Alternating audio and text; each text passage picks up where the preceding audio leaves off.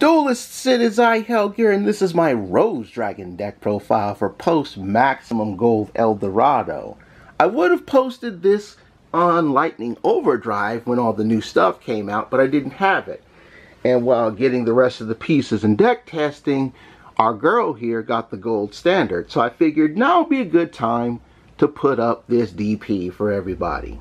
Very fun deck of Akiza's signature monster and I hope you enjoy this build.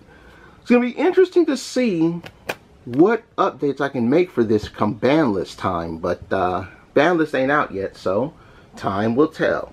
Like, sub, and bell as always, everyone.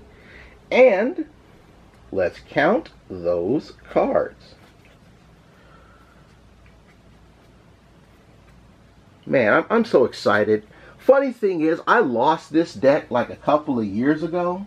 And then, because I dropped one of my cards, I actually found this deck again. And I was like, yep, let's upgrade this stuff now. So we'll begin with two of the White Rose Dragon. Uh, let me zoom the camera out a bit more. There we go. So, two copies of White Rose Dragon. On normal summon, you can special summon a Rose Dragon from your hand, which is a really nice way. It's an it's an extender. Oh, hand or graveyard, excuse me. And then it has two effects that you can use once per turn. If you control a dragon or plant tuner, you can special summon this card from the hand, which makes it a nice extender again. And if it's used as synchro material, you can send a level 4 or higher plant from deck to hand. Back in the old days, you could use Gigaplant with this, but we don't play Gigaplant anymore. Next up, we have three copies of Red Rose Dragon. Red Rose Dragon also has a sweet little effect if it's sent from or if it's sent to the graveyard as synchro material. Yo. Allow you to get either a Blooming of the Dark Rose trap or a Frozen Rose spell from your deck to your hand if it is used for, what is it? For a Black Rose Dragon or a Plant Synchro Monster. Other than that, if sent to the, oh yeah, I just said that. Jesus. Where is my other effect? Mm, mm, mm.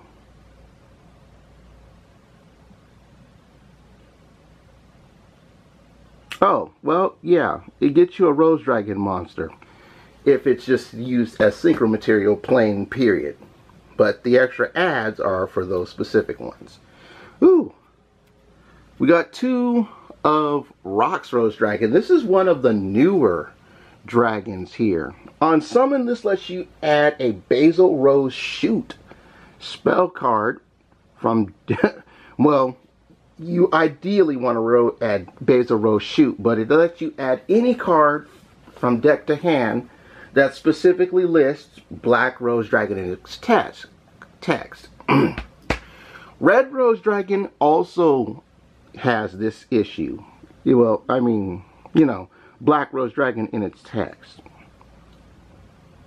Just can't wrote another copy of Rocks Rose. Some people play this at 3, by the way, but I like the 2. It's pretty decent. If a face-up Rose Dragon monsters or plant synchro monsters you control be destroyed by battle or opponent's card effect, you can add this card to your hand. And once per turn. The dark horse of the family is Blue Rose Dragon. I do like this. I still have my secret rare version of this card. Thank you, Legendary Duelist 4, for reprinting this as a common. Like the Red Rose Dragon, the Blue Rose Dragon also lists Black Rose Dragon specifically in its text. Upon death, it can special summon a Black Rose Dragon from grave or a plant monster. Just remember, you got to properly summon the Black Rose Dragon. Next up is an interesting bit of tech here, folks. We have our Blood Rose Dragon. Uh, yeah, can, mm, Konami, you guys are chumps for letting Scooby-Doo name these cards. Alright? You only need one of these next couple of cards because they work very well together. You contribute this card and add one Witch of the Black Rose from deck to your hand, and then place a level 3 plant on the top of your deck. Then you could normal summon the Witch of the Black Rose. You can banish this card from your graveyard and return a Black Rose Dragon or Blood Rose Dragon that is banished banisher in your graveyard to your extra deck once per turn. Now, this combo is very well because you can summon Blood Rose. And, and here's the thing. I use a Japanese name, but you could have spelled this Konami like B-L-U-D for Blood Rose like you did the Gemini monster Ill Blood.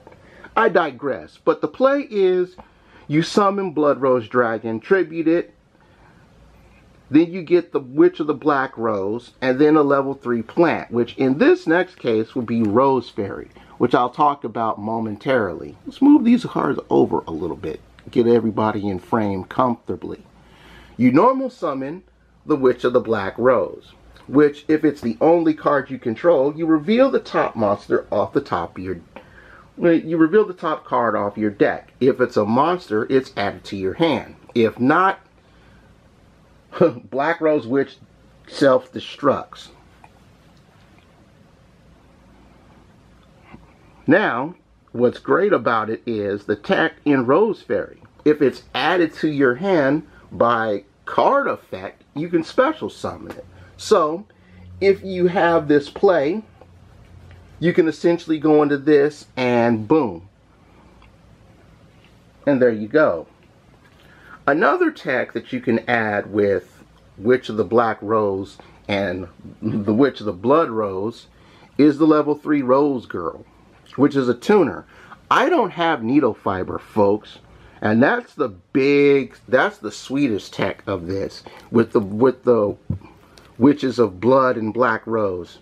You go into these two because both of the, of the Rose Witches are tuners even though one is plant and one is spellcaster.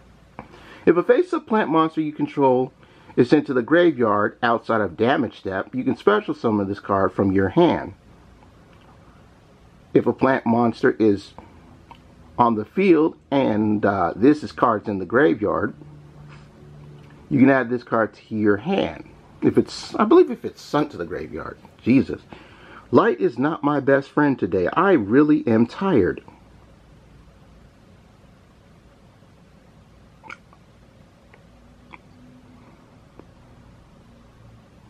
Either way, you can only use one of those effects per turn. Ooh, yeah, I'm tired. I apologize for this one, folks. There's so much to do in so little time in my days. Enough, in my Rose Dragon deck, I run a small Predaplant engine, which consists of one predaplant, Spinodionaea. Yes, I can say these Latin words. Two copies of predaplant Ophrys Scorpio. And one Darlingtonia Cobra. So, like most predaplant monsters, Spinodionaea can take one of your opponent's monsters, give it a counter, and if its level is higher than 2, it lowers it to 1.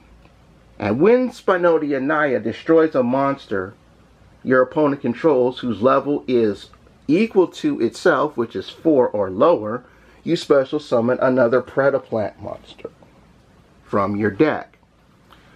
Ophrys Scorpio and Darlingtonia Cobra really don't need much of an introduction. These are the old school fusion engine that people would use. You know, you'd summon Ophrys Scorpio off of a Predaplant, pitch a monster pull Darlingtonia Cobra, who once per duel, when it's special summoned by the Pred monsters, adds a fusion spell from deck to hand. One of the funnest things I like to do with these three is swing at my opponent with Spinodionaea during battle phase, summon the Ophrys Scorpio, pitch the monster, summon Darlingtonia Cobra, and then pull Fusion.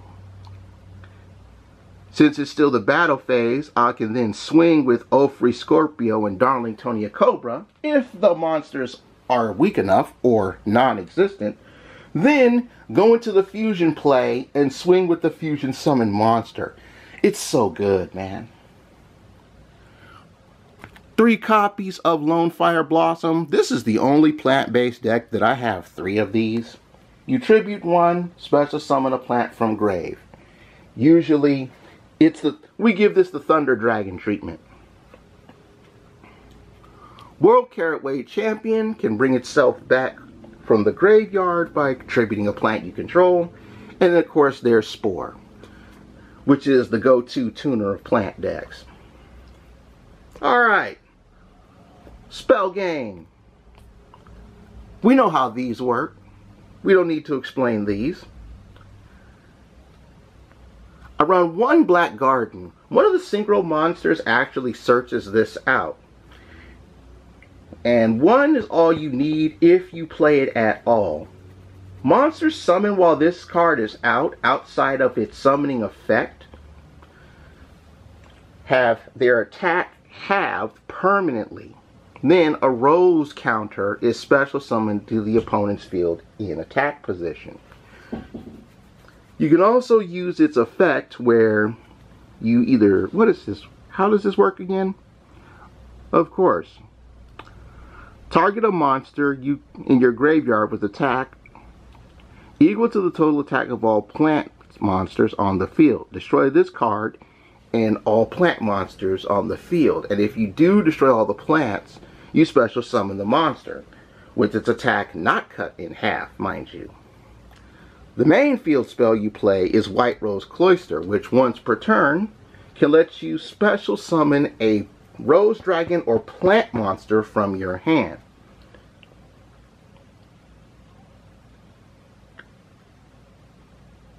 Once per turn before you draw, you can declare a card type. Then you reveal that card. If it's the right card that you call, level 7 or higher synchro monsters you control gain a thousand attack for the turn.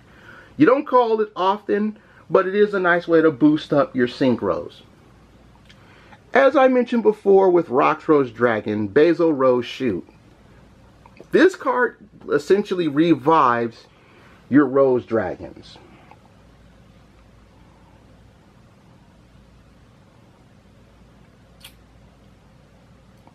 Uh-huh. it can also be banished to bring one back once per turn. Remember I was talking to you guys about Red Rose Dragon being Frozen Rose? Well, this is Frozen Rose. It has two effects that you can use one of in a turn. And remember, this is an O. You send a face-up monster to the graveyard. If it's a plant, you draw two cards during your end phase, then discard one. So it's like a low-rent graceful charity. And if it's a non-plant, you wrote a, a level 4 lower plant to hand. I may cut out Allure of Darkness at a later date because it's draw power and Frozen Roses also draw power. Super Poly. Going back to the Predaplant play with Spinodia Naya, Ophrys Scorpio, and Darlingtonia Cobra. You essentially swing, Scorpio, pitch, Cobra, swing with Scorpio, swing with Cobra, use Super Poly, and go into Fusion. It's spell speed 4, so of course you got the good stuff. I also play a copy of Ultra Polymerization in this deck. I know a lot of Rose Dragon decks are playing Instant Fusion instead of this, and personally I think it's the bad call. Like Super Poly, it is spell speed 4. You pay 2 racks and you fusion summon. Then, you can banish this card from the graveyard, get back the fusion materials with their effects negated. And I believe they're stripped of attack points? Yes, attack and defense. Which is really good. I really need to change this to Raigeki at some point in time. but I do like Lightning Vortex because uh, for some reason, Crossout Designator can't really chain off of this because most people are playing Raigeki. Then we got the back row hate.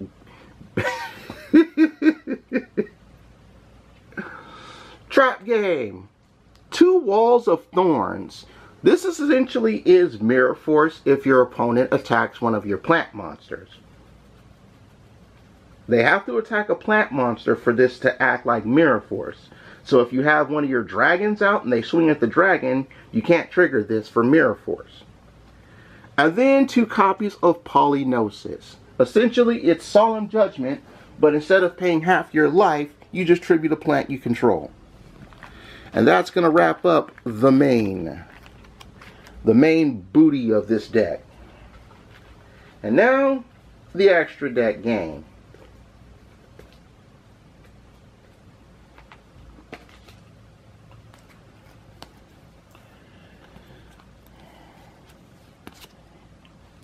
Starving Venom Fusion Dragon is one of the super pol well, one of my fusion targets. We all know how this card is. We all know how it works.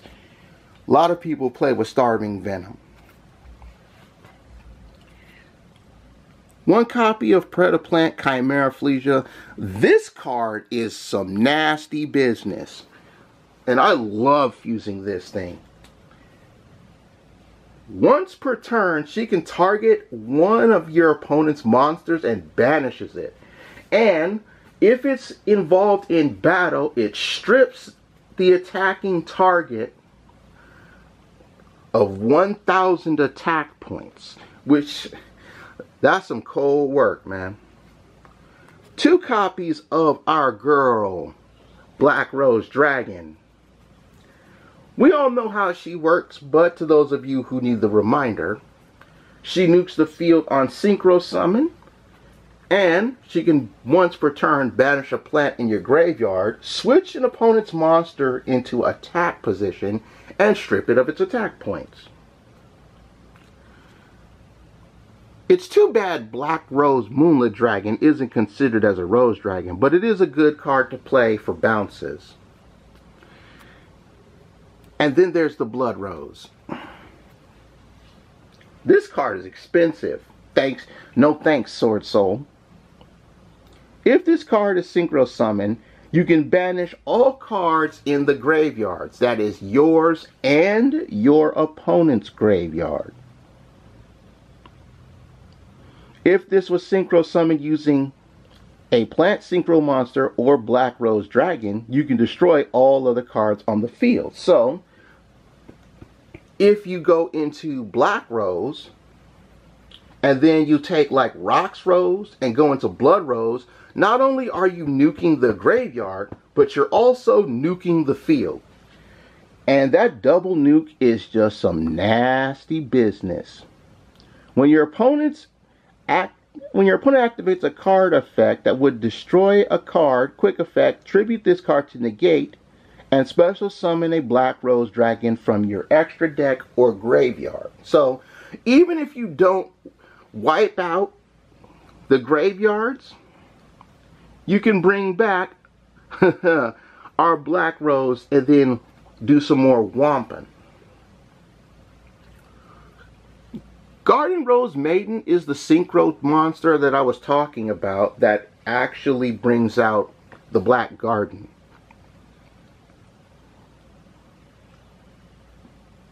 So, you can also banish this card from your graveyard, then target a Rose Dragon monster or Dragon Synchro monster in your graveyard and special summon it once per turn. The low rent version that came out of King's Court is Garden Rose Flora. This is also a nice alternative for this deck if you don't have Maiden. Maiden. Target a card in the field zone and destroy it. Then special summon to its controller's field one Rose Dragon. Oh, sorry, excuse me, Rose Token in attack position. Also, you cannot special summon from the extra deck for the rest of the turn except Synchros. So, the lock of the Synchros isn't really that bad, especially where you can Synchro climb into this as it is also a tuner.